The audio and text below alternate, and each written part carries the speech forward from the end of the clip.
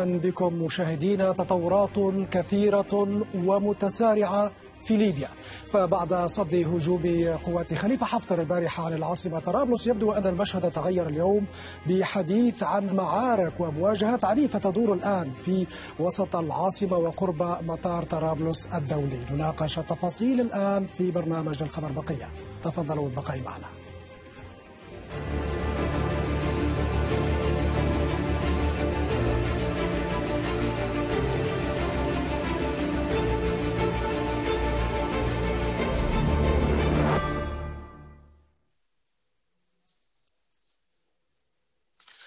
حرب اللواء المتقاعد خليفة حفتر على طرابلس تبدو سجالا بين طرفين يصر كل منهما على تحقيق تقدم ميداني سريع. آخر الأخبار الواردة من ليبيا. تؤكد أن معارك طاحنة تدور في هذه الأثناء في حزام العاصمة وأن قوات حفتر تحاول الدخول إلى المطار الدولي المهجور في طرابلس. وكالة رويترز أفادت أن قوات حفتر المدعومة إماراتيا أعلنت سيطرتها على مناطق قصر بن غشير ووادي الربيع وسوق الخميس قرب العاصمة التي أعلنت الحكومة فيها حالة الطوارئ القصوى استعدادا لأي خروقات أمنية. للمزيد ينضم إلينا من طرابلس مراسل التلفزيون العربي خليل الكلاعي. خليل ما أبرز وآخر تطورات لديك في ظل الحديث عن دخول قوات حفتر إلى العاصمة ومعارك تدور الآن حول المطار؟ نعم بالفعل تراجعت القوات التابعة لحكومة الوفاق الوطني في المحور الجنوبي للعاصمة الليبية. طرابلس بعد قتال ظاهر كان في محور قصر بن غشير وتمكنت القوات الموالية للواء المتقاعد خليفة حفتر من الدخول إلى منطقة قصر بن غشير والاقتراب من محيط طرابلس العالمي.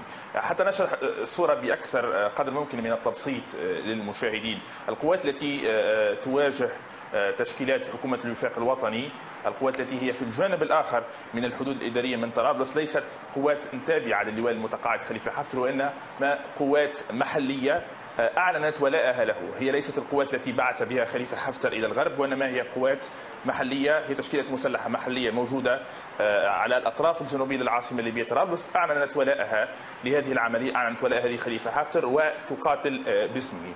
ما حدث هو يعتبر بالفعل اختراق بالمعايير العسكرية. تراجعت القوات التابعة لحكومة الوفاق الوطني على محور قصر بن غشير وتقدمت هذه القوات التي توالي خليفة حفتر على ذات هذا المحور واقتربت من مطار طرابلس العالمي. لنشرح الصورة أكثر أيضا ونقربها أكثر من المشاهدين. مطار طرابلس العالمي ليس هو المطار الرئيسي في العاصمة الليبية طرابلس. المطار الرئيسي هو مطار معتيقة مطار طرابلس العالمي هو مطار شبه مدمر وهو مطار خال وهو مطار لا يصلح لإيواء وربما إقلاع وهبوط الطائرات.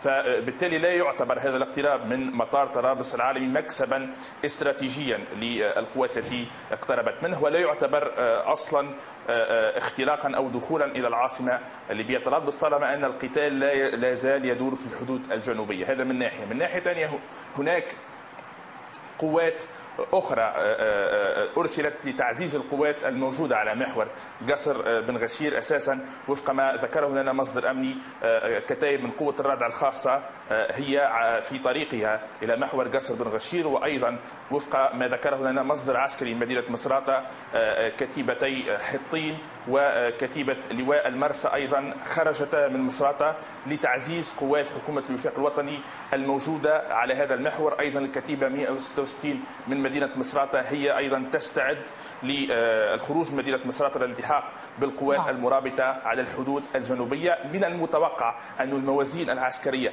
القائمة الآن والمشهد القائم الآن المتمثل في تراجع قوات حكومة الوفاق وتقدم قوات أعلنت ولائها للواء المتقاعد خليفة حفتر. كل هذا المشهد من المتوقع أن يتغير بشكل كلي إذا وصلت التعزيزات والتشكيلات المسلحة التي كنت ذكرتها لكم كتيبة حطين كتيبة لواء المرسى والكتيبة 166 نعم سنتابع معك تطورات المشهد هناك في ليبيا. خليل كلاعي مراسل التلفزيون العربي شكرا جزيلا لك. للمزيد مشاهدي آه. ذلك حلم راود اللواء المتقاعد خليفة حفتر منذ أن استثب له الحكم في الشرق الليبي قبل خمس سنوات. في مخياله المدينة مدينة له بمعركة مؤجلة منذ ذلك الحين. لكن في حربه الموعودة تلك يصطدم حفتر بشبكة ولاءات قبلية ومناطقية معقدة. الطريق إلى العاصمة لن تمر إلا بمسرات الثائرة تاريخيا على رموز النظام. وبالزاوية وقد استنفرت عتادها ومقاتليها.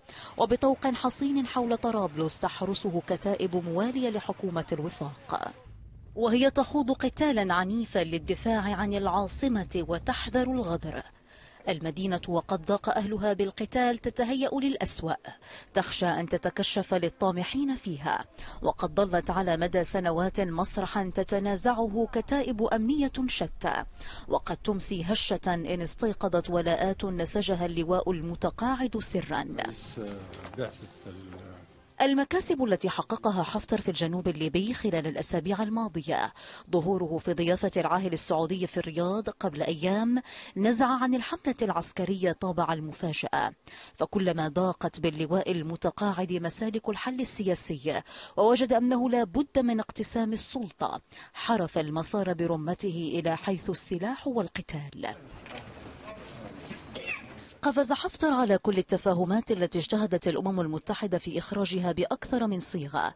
في مؤتمر سخيرات قبل سنتين أو يزيد في اتفاق باريس وكان آخرها في أبو ظبي العاصمة التي فتحت له مخازن السلاح والأموال حين اجتمع بالسراج معلنا اتفاقا حول ملامح المرحلة الانتقالية.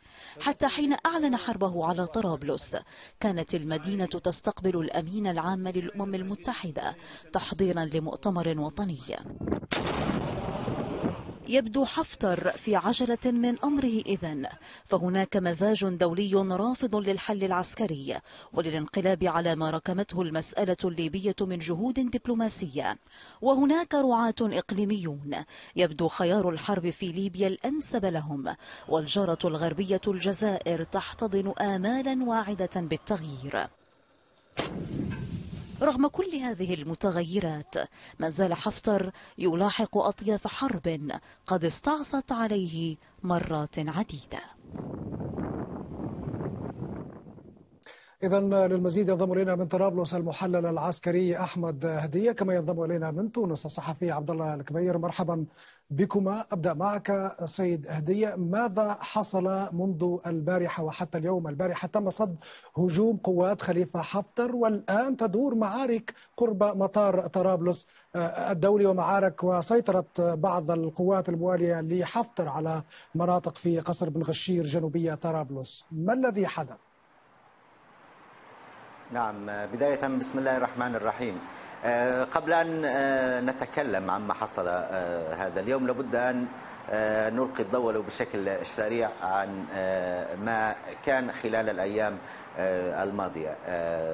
خليفة حفتر يحاول بكل سرعة أن يقوم بإنجاز شيء ما على الأرض قبل أن يكون أو موعد الملتقى الوطني الجامع. يستغل آه، الوضع الحرج الذي آه، تعانيه آه، الجزائر هذه الأيام. كان في الإمارات وكان في السعودية ومطبخه المعروف في في مصر فهو يلاقي دعما من من هؤلاء.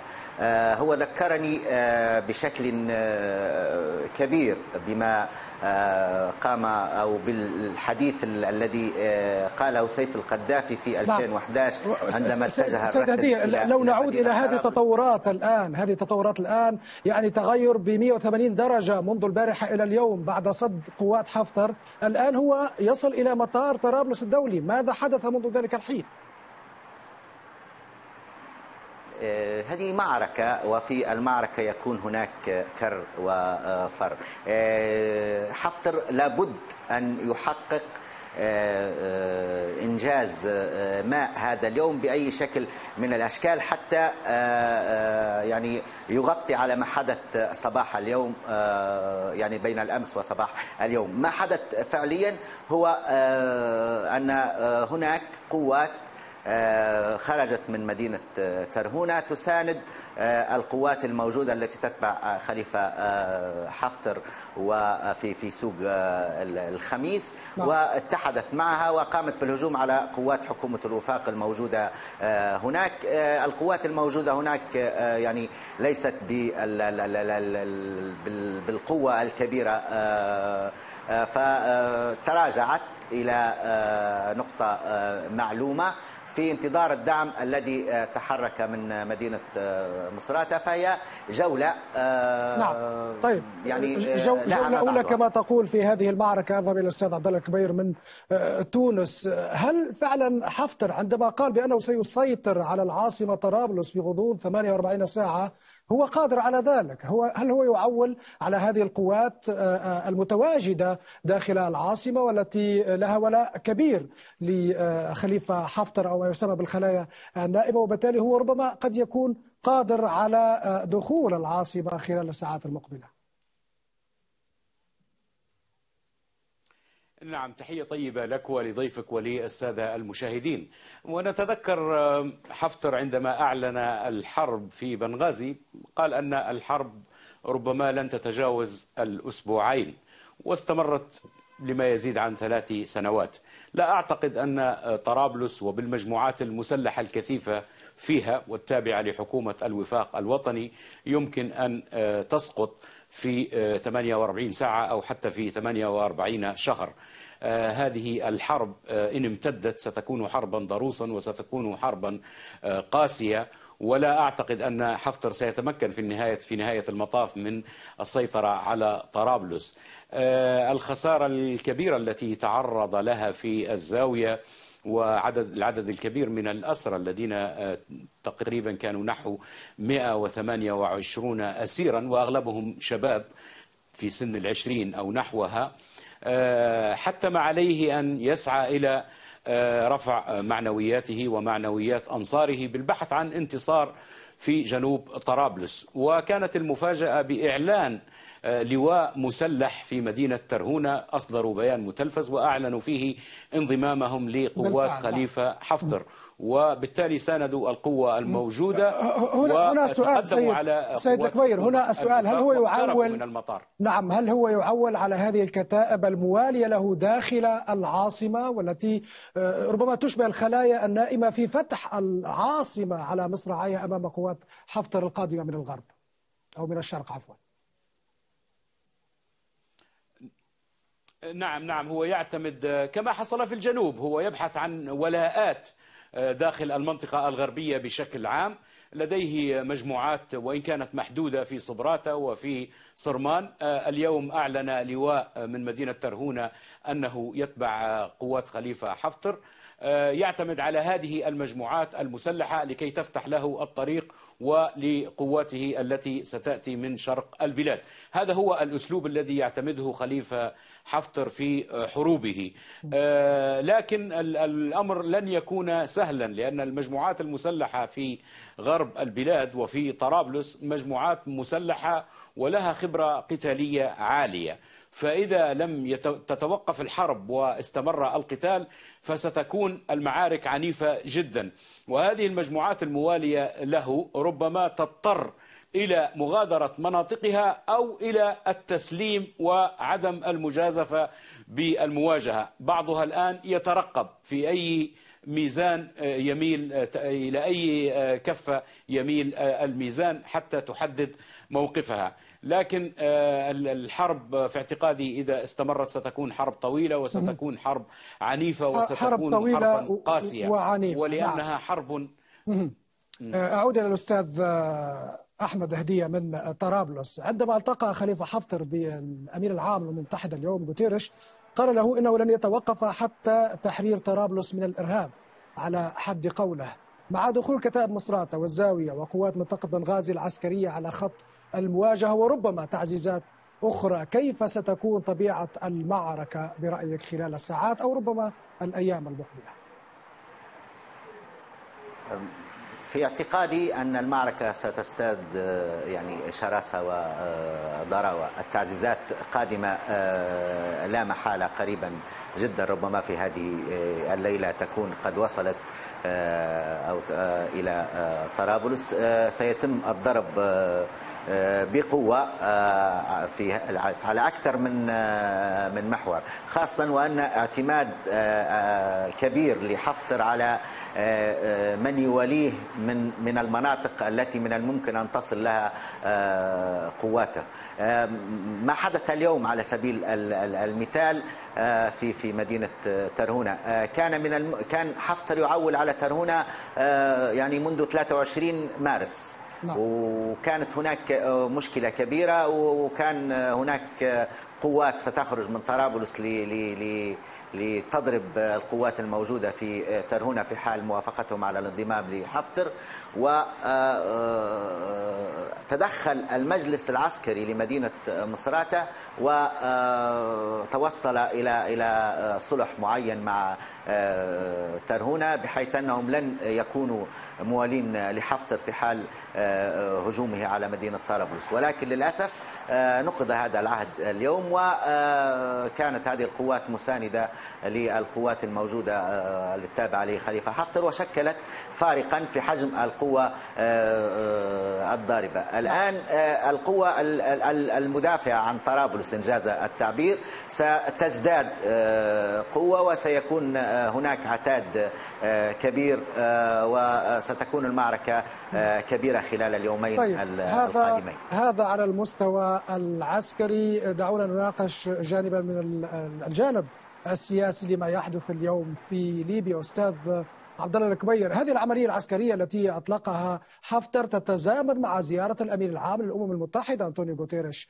إلى ليبيا. هو التقى به اليوم تتزامن مع دعوات دولية كثيرة للتهدئة ومع ذلك هو أصر على الخيار العسكري. كيف تفهم ذلك؟ هل هي استهانة من حفتر بالمجتمع الدولي وبالمناشدات الأممية أم هي ربما سذاجة عسكرية ويظن أنه ربما قادر على السيطرة على طرابلس بهذه السهولة. هو في الواقع حفتر عسكري وليس وليس سياسيا ويعول دائما على الخيارات العسكرية وعلى الحلول العسكرية. وربما ظن أن المعركة في الغرب الليبي ستكون سهلة كما هو الحال في الجنوب حيث لم تكن هناك قوات قادرة على وقف تقدمه باستثناء مجموعات قليلة من التبو صمدوا لعدة أيام ثم تراجعوا أما باقي المدن فسلمت له طوعا وأعلنت ولاءها له. بالنسبة لي يعني أن يعلن الحرب على طرابلس بزعم تحريرها ولا نعرف من من ماذا سيحررها وهي سكانها سكانها ليبيون والقوات الموجودة فيها قوات ليبية والحكومة الموجودة فيها هي حكومة الوفاق الوطني وهم ليبيون والخلاف بينهم بالتأكيد هو خلاف سياسي. فمصطلح التحرير يعني القضاء على كل خصومه وعلى كل من يقفون في في طريق مشروعه لفرض سلطته العسكرية والسياسية. آه، إذا يعلن حفتر آه، عمليته العسكرية في وجود غوتيريش في آه، في طرابلس. نعم. وبعد ذلك يتحول غوتيريش إلى بنغازي ويفشل في إقناع رئيس مجلس النواب بوقف القتال وبالتهدئة. ويغادر اجتماعه مع حفتر وهو يقول أشعر بقلق عميق نعم. إزاء الاشتباكات التي ستدور في في محيط طرابلس. يعني أن حفتر يرفض الاستجابة أو رفض الاستجابة لطلب من غوتيريش بأن يوقف الحرب ويخضع للحلول السياسية. الآن يفترض أن هناك جلسة لمجلس الأمن الدولي. في الحقيقة موقف المجتمع الدولي مريب. يعني يطالبون بالتهدئة ويطالبون بضبط النفس نعم. ولا يوجهون الاتهام لمن أشعل هذه الحرب سأعود إليك لاحقا أستاذ عبد الله. على طرابلس وفتح بهذا السؤال على طرابلس. نعم. بهذه النقطة سأعود إليك لاحقا. أعود إلى آه، الأستاذ أحمد آه، آه، هدية. غوتيريش قال قبل أن يغادر ليبيا قال أنه يغادر ليبيا مفتور القلب ويشعر بقلق شديد بعد لقائه حفتر. هل يعكس هذا التصريح برأيك عجز أممي في آه، السيطرة أو في تهدئة الوضع على الأقل في ليبيا وبالتالي فإن المشهد مفتوح على خيارات كثيرة أبرزها الخيار العسكري طبعا. آه، نعم هو آه، يعني الأمين العام للأمم المتحدة سواء كان غوتيرس أو من قبله دائما ما يشعرون بالقلق في في مثل هذه الأمور. ولكن ما أستنبطه يعني سأرجع بك إلى إلى إلى أسبوع قبل. كان هناك لقاء لغسان سلامة وحفتر والسراج في أبو ظبي وقيل بأن هناك اتفاق معين سيخرج للعلن سيكون هذا الاتفاق مرضي للجميع. تبين بالأمس من خلال تصريحات يعني حكومة الوفاق بأن حفتر كان فقط يكسب قليلا من الوقت وكان غادرا استخدمت استخدم هذا التعبير في في في كلامهم. حفتر يعول على أن أي إجراء من الممكن أن يكون سيكون بعد وقت ولن يكون عاجلا. ولهذا قلت في بداية حديثي أنه ذكرني بذهاب الرتل إلى بنغازي في 2011 عندما قيل لسيف القذافي بأن المجتمع الدولي سيقوم بضربكم قال الجملة المشهورة توليت يعني نحن سننجز. ما نريده قبل أن تقوم الأمم المتحدة بتفعيل قراراتها. يعني سنكون نحن الموجودين وستكون الحكومة لدينا وبالتالي ستكون هناك حسابات أخرى للمجتمع الدولي. فحفتر من خلال ربما عقليته العسكرية وكثيرا ما رأيناه يجتر أفعال من سبقه يعني القذافي تحديدا أو, أو, أو, أو كل ال العسكريين الذين وصلوا إلى الحكم. يعولون على الحل العسكري ومن ثم المجتمع الدولي سيكون له يعني وجهة نظر أخرى إذا ما هو أحكم قبضته على مقاليد عودة يا أستاذ عبد الله الكبير. نعم.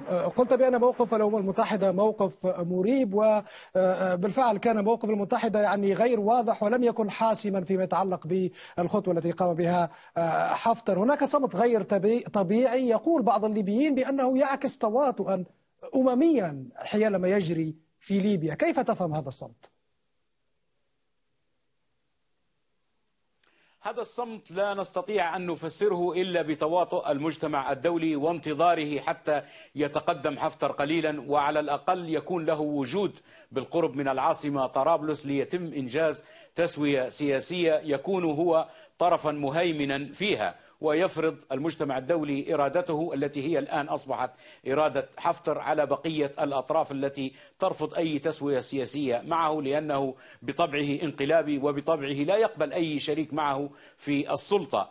المجتمع الدولي عودنا عندما تكون هناك أي اشتباكات من أي طرف أن يبادر إلى التنديد. عودنا السيد غسان سلامة عندما تقدم اللواء السابع وواجه قوات حماية طرابلس على أن يبادر فورا إما بالتغريد أو بإصدار بيان يحذر فيه من انتهاك السلم ومن خرق الهدنة. الآن السيد غسان سلامة يصمت والبيانات الخجولة التي سمعناها من المجتمع الدولي كلها ندعو, ندعو إلى التهدئة ندعو إلى ضبط النفس في حين أن المعتدي واضح والذي أعلن الحرب. ونحن على بعد خطوات قليلة من ملتقى وطني جامع يقرر فيه الليبيون مصيرهم وخارطة الطريق تخرجهم من هذه الأزمة. بدلا من أن يشيرون إليه مباشرة ويدينون هذا الاعتداء يطالبون بالتهدئة ويطالبون بضبط النفس. هذا موقف مريب. والآن سنرى المجتمع الدولي عندما نسمع قرار مجلس الأمن.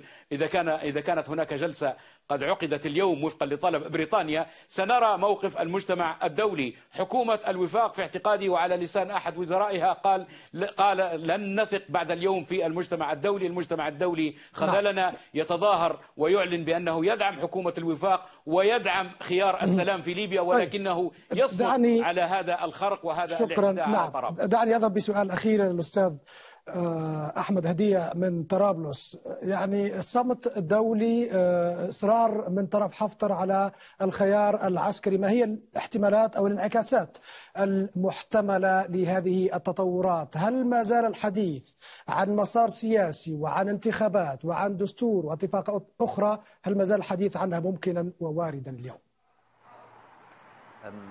أعتقد آه، أنه آه، من الغباء السياسي آه، أن يكون هناك تفكير في حل سياسي حفتر يكون طرف فيه.